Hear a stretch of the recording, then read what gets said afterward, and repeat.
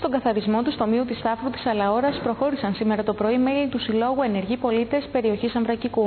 Ο άνθρωπος απέκτησε μια περίεργη συνήθεια. Με τον καιρό άρχισε να προσδίδει σε μεγάλα και σημαντικά γεγονότα της ζωής του τον τίτλο της Παγκόσμιας ημέρας. Όταν αυτή η κατάσταση λειτουργεί υπενθυμίζοντας και δραστηριοποιώντας τον κόσμο είναι θετικό.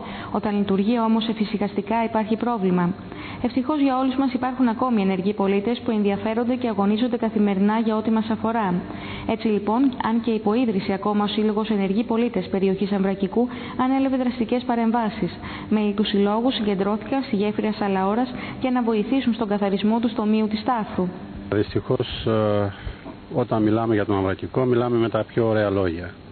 Ε, περιοχή Νατούρα, πάρκο, ε, φυσικός πλούτος, περιβάλλον.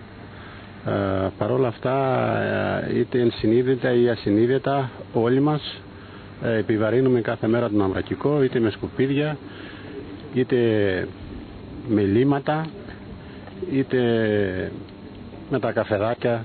Ερχόμαστε στην παραλία να απολαύσουμε πούμε, το, περιβάλλον, το περιβάλλον, να ψαρέψουμε. Έχουμε το φαπεδάκι μας. Βέβαια, εντάξει, δεν υπάρχουν κάδοι. Το έχουμε ζητήσει από το Δήμαρχο να μπουν και κάδοι.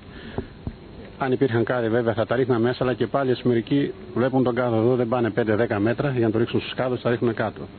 Αυτή είναι μια ενέργεια που προσπαθούμε να ενσυνειδητοποιήσουμε τον κόσμο, ούτως ώστε ο καθένας από τη μεριά του να προσθέσει και αυτό σε ένα μικρό λιθαράκι σε αυτό το οικοδόμημα που λέγεται προστασία του αμβρακικού.